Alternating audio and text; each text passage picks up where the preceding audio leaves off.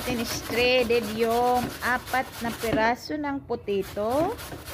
At para mas madali guys, gumamit ako ng white potato kasi mayroon iba-ibang klase ang potato. May red, may yellow. So, I prepared na gamitin yung white kasi mas madali siyang maluto.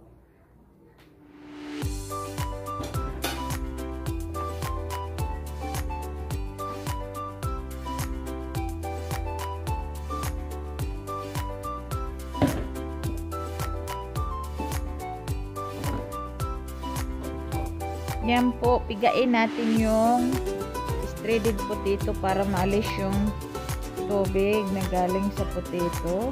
Kung gusto nyo po, gumamit po kayo ng kila para mas madali. Pero ako po, gamitin ko yung kamay ko kasi wala kami isang kila na pwedeng na pigaan.